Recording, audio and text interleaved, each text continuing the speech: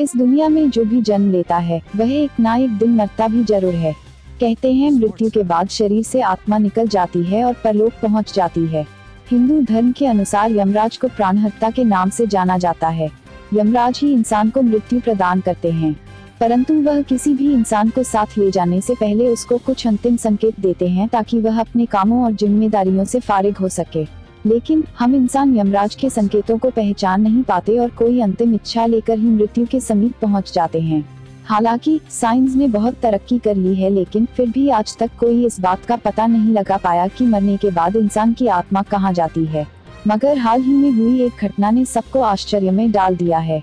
दरअसल, फिरोजाबाद में कथित रूप से मृत और फिर ज़िंदा हुए एक बुज़ुर्ग की कहानी इन दिनों चर्चा का विषय बनी हुई है।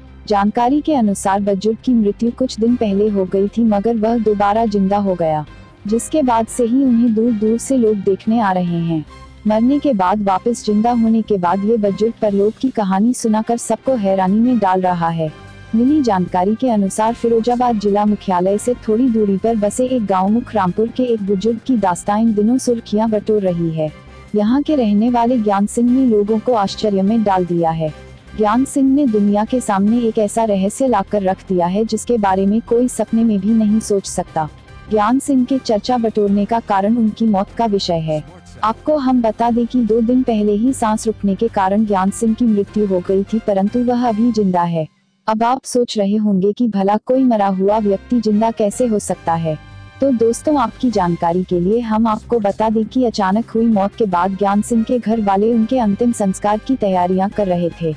जब वह बुज़ुर्ग को जलाने के लिए शमशान घाट ले जाने लगे तो उन्होंने उसके शरीर में कुछ हलचल महसूस की। अचानक से मुर्दे को हिलता हुआ देखकर वहाँ मौजूद लोग काफ़ी डर गए। मगर गाँव के ग्रामीण नेपाल सिंह ने बताया कि शायद ज्ञान सिंह में जान फिर से लौट आई है, जिसके कुछ सेकंड बाद ही ज्ञान सिंह उठ खड़े हुए और उन्होंने मौत के बाद का दृश्य वर्णन सबके सामने किया। ज्ञान सिंह ने बताया कि मरने के बाद दो लोग उन्हें घसीट कर ले जा रहे थे। परंतु उन्हें जहाँ ले जाना था वहाँ उन्हें किसी कारण घुसने नहीं दिया गया।